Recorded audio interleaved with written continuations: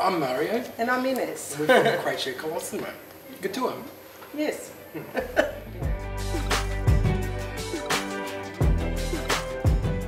What inspired you to become bridal designers? Well, I'm not only bridal designers, I think We- couture, evening wear and bridal wear. Just uh, we love glamour. Yeah, we love glamour and we used to see all those glamour movies and what have you and you think, I could do that better. I want to try and do that better. And that's what we did. Our inspirations all from the 50s and all the beautiful old Hollywood, Marilyn Monroe. Yeah. Um, Grace Kelly and so on. Just the way they poise and the way they look. And that's what we love. And that's what inspired us to be couture. Also, my mother, my great grandmother, and Ines's My mother mother. and my grandmother and my aunties and there was a whole family I think we're five generations combined in dressmaking and Yeah. couture.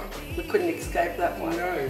Plus, we go to France. Yes, yes. So, we did what's France and Italy to inspire us with more of the lines and the designs and, And the we- and workmanship. the workmanship, which was very important. It is very important for us. Yes. Wonderful. Um, how long have you been in the industry? Ooh, over 28 years in the industry. I think it's a, a long time in the industry, Too so we know No, our no. craft really well. Yeah.